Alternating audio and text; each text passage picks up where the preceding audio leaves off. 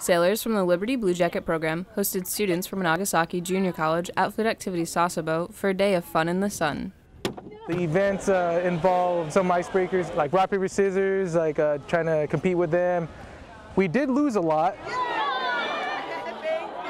COMREL events like this give us an opportunity to interact with our host nation and show them that we respect their culture, uh, give us a chance to kind of let them into ours somewhat.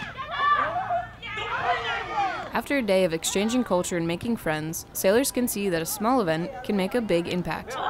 Seaman Christina Coffey, Fleet Activities, Sasebo, Japan.